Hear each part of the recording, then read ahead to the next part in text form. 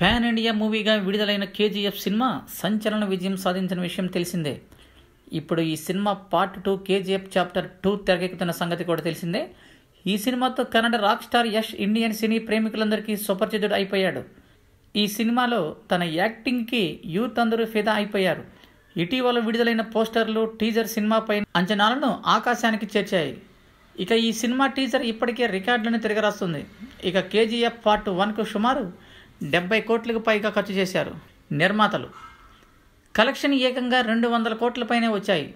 ఇప్పుడు part two కోసం ఏకంగా నూట నలభై నుంచి నూట అరవై కోట్లు ఖర్చు చేస్తున్నట్లు ప్రచారం జరుగుతుంది. ఇదిలా ఉంటే హీరో యష్ తన రెమ్యూనరేషన్ను కూడా పెంచేశారట. కేజీఎఫ్ పార్ట్ వన్కు యష్ పదకొండు కోట్లు పారితోషికం తీసుకున్నారట. ఇప్పుడు పార్ట్ టూకి ఏకంగా ముప్పై కోట్లు తీసుకున్నాడని టాక్ నడుస్తుంది. పైగా లాభంలో షేర్ కూడా తీసుకుంటున్నట్లు కన్నడ మీడియాలో గుసగుసలు వినిపిస్తున్నాయి.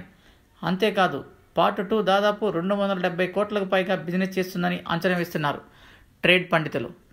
అందుకనే కేవలం హీరో మాత్రమే కాదు హీరోయిన్ దర్శకుడు ఫస్ట్ పార్ట్ ప్రధాన పాత్ర పోషించిన కొందరు నటులకు కూడా చాప్టర్ టూ కోసం భారీ రిమ్యునరేషన్ ఇస్తున్నారని అంటున్నారు. ఈ వీడియో మీకు నచ్చితే లైక్ చేయండి షేర్ చేయండి తప్పకుండా సబ్స్క్రైబ్ చేయండి.